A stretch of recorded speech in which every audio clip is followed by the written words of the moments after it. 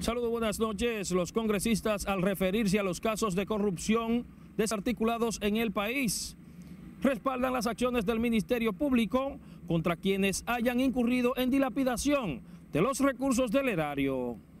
Esa mafia de jerarcas militares a quien afecta es los cuarteles, que usted vaya, lo que hay son locrios de pica pica. Al referirse al entramado de corrupción que involucra a varios generales y coroneles, el diputado oficialista Eugenio Cedeño cuestionó que las maniobras fraudulentas afectan directamente a militares de menor rango y constituye un atentado para la seguridad nacional.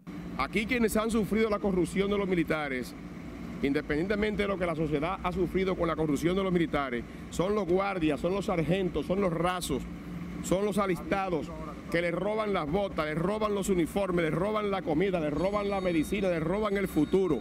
De su lado, el vocero oficialista en la Cámara Baja, Julito Fulcar, indicó que cada militar acusado debe responder ante los tribunales por los hechos que se les imputan. Preferimos eh, dejar eh, como legislador que el Ministerio Público desarrolle su labor.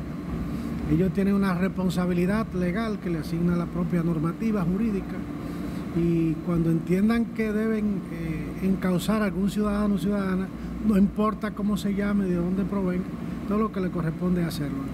Otros legisladores plantean que debe respetarse el debido proceso para evitar que el caso se convierta en un show mediático.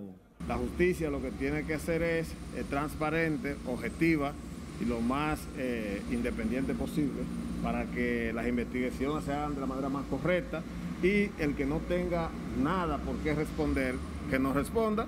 Pero nosotros como dirigentes políticos siempre hemos dicho que el amparo de todo ciudadano dominicano es la ley. Lo que pide la sociedad, lo que pide todo el mundo es que se respete el debido proceso, que todo el que haya que investigar se investigue, respetando, el, eh, respetando esa norma.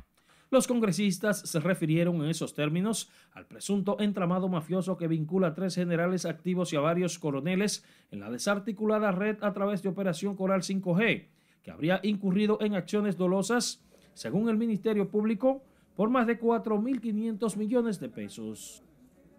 Los legisladores también son de opinión que la lucha contra la corrupción y el crimen organizado que lleva a cabo el órgano acusador reafirma su compromiso de un Ministerio Público independiente.